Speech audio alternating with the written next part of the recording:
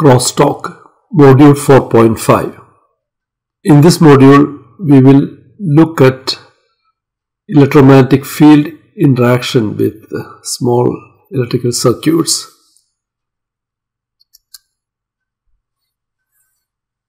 What we will see is approximate model for differential mode noise pickup by component leads, PCB tracks and connecting wires. The assumptions are that transmission line model is valid and incident field can be approximated as a uniform plane wave or in the far field of dipoles. So we are not talking of near field coupling in this. Even though as you will see the model that we come up is quite similar to the model that we have derived for near field inductive and capacitive coupling but in this case it will be action of magnetic field and electric field.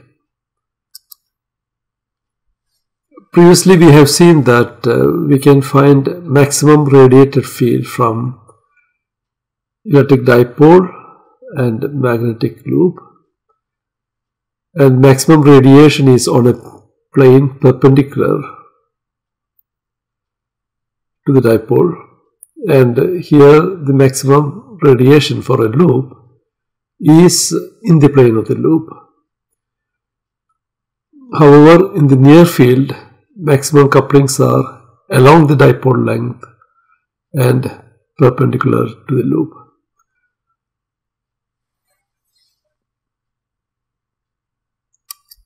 So the problem that we have is somewhat different from the previous one. So here uh, assume that you have two wires. It can be component lead or PCB tracks with some loads at the end and you have a TEM wave incident, transverse electromagnetic wave in which electric field and magnetic field are in a plane perpendicular to the direction of propagation. Now the coordinate system is defined here x-axis, y-axis and uh, z coming out of the paper. So since it is TEM, we can separate the effect of uh, magnetic field and electric field.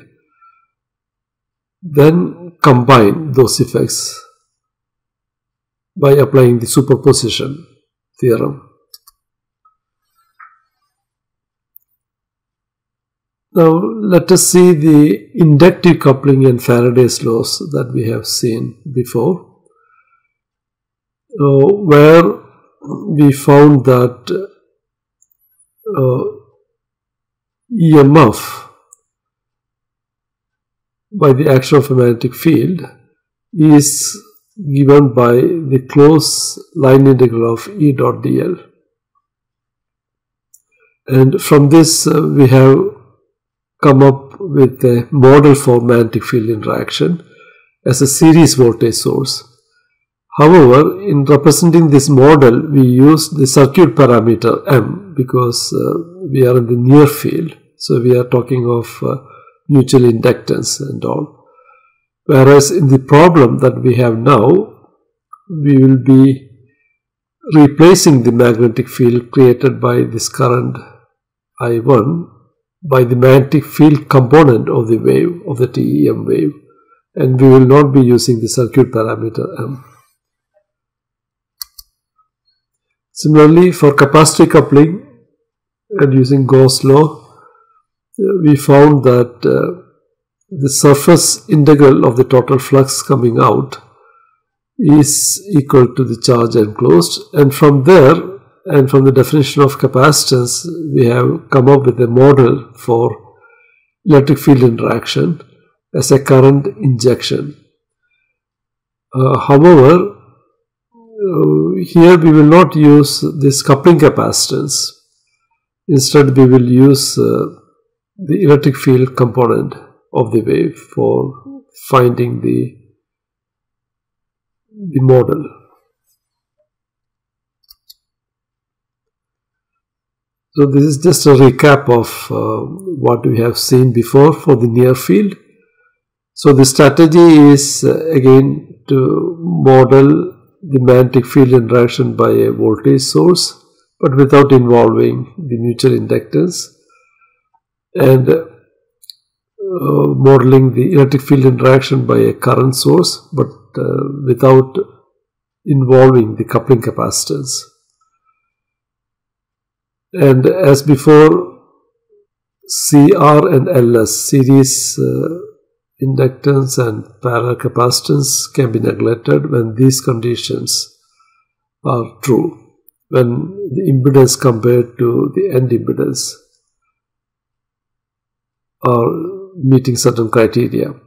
And also we will not use uh, near field and far field anymore because it, does, it will not make any sense. There is no near, uh, sorry, near end and far end uh, in the problem that we are investigating now.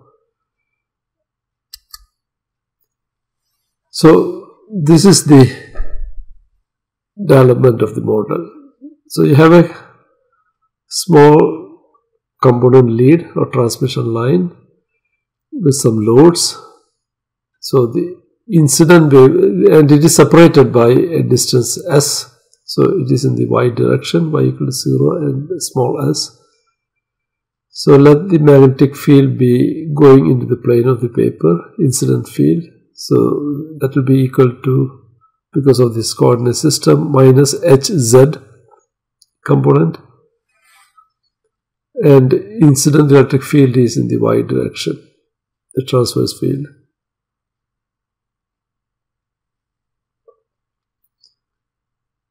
So the normal component of the magnetic field, you take a small section of the line delta x. This is the x coordinate. So small section of delta x. So you have an area enclosed.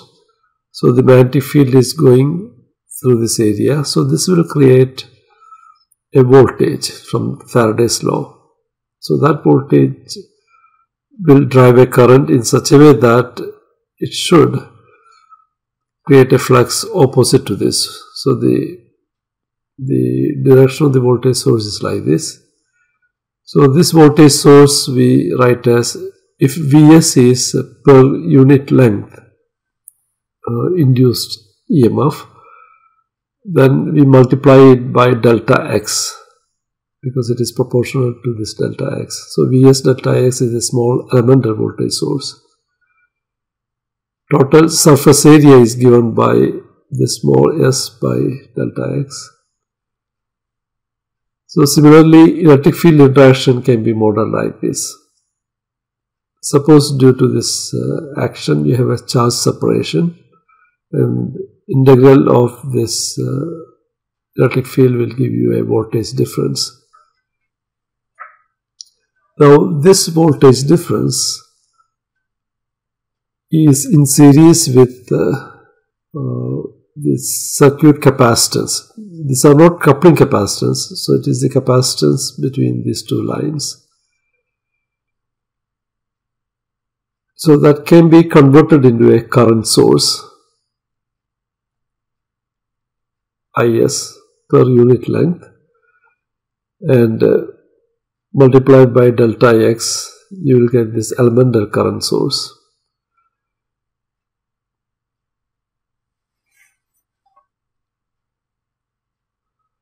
So this is the model for electric field interaction. So we will find how we can find this Is and Vx in the later view graph. So the magnetic field induces an EMF, a series voltage source. So surface integral of uh, rate of change of the flux. So if we take uh, this small elemental area and integrate along this area you get an expression like this. Bn is the incident uh, flux density and uh, integrating over that small surface that small surface area you can get it as uh, delta x into small s if uh, h is uniform across. But otherwise we can explicitly write it as an integral form. So j omega mu 0 surface integral of h ds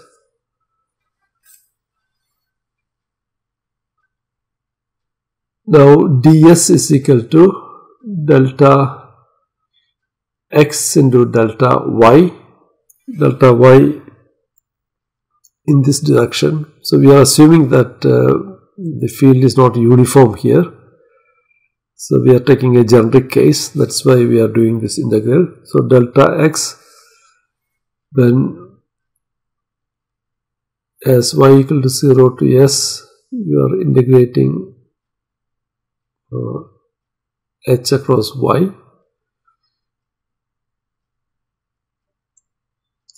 So this will be equal to a voltage times delta x. So j omega mu 0 integral 0 to s h dy is the voltage source.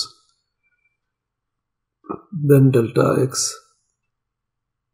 Now electric field induced currents uh, uh, that will be the parallel current source. So that is given by so C times rate of change of voltage. So it is this equations we are writing. So instead of coupling capacitance, it is uh, this capacitance that we have here. So that is the only difference. So it is quite similar, even though an important difference is that this C here is the capacitance between these two wires and not the coupling capacitance as in the previous case. So since uh, uh, this is a positive and this is negative but we assume the direction of the current upward we put a negative sign in front.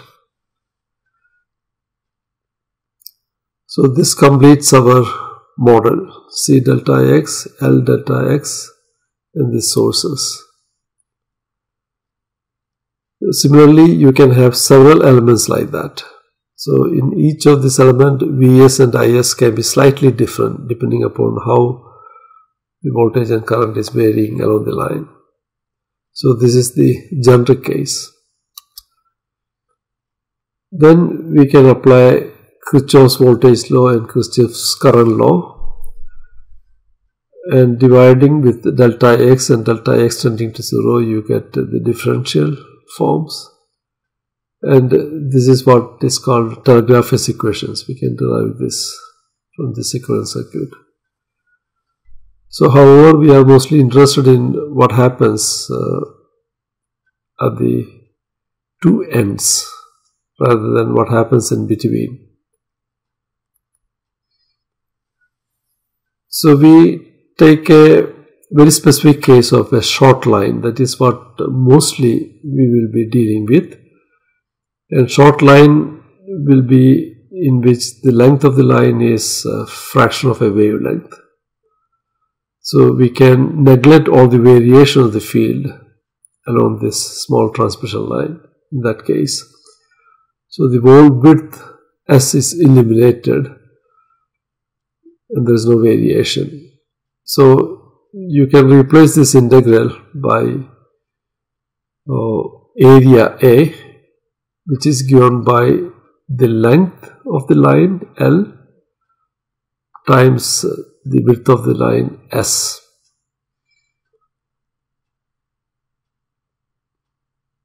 So voltage source is given by j omega mu 0 area times Hn. So th this will give the uh, mu 0 Hn will be giving you the complete flux and j omega and this uh, flux phi will give you rate of change of flux in time domain. Similarly, the current, shunt current is L, total length, times j omega C into integral of 0 to s ey dy. So since ey is uniform, you replace this by L times s small s for the width of the line then you get a here and c a equal to l in l times s. So we got the values of uh, both sources. So as before if we say that omega l is far less than the terminal impedances and 1 by omega c is far greater than the terminal impedances, we can neglect those capacitance and inductance. And now we have just uh, two sources, one representing magnetic field interaction and other electric field interaction and the two loads over there. And we are interested in Vs, voltage across this and uh, voltage across this.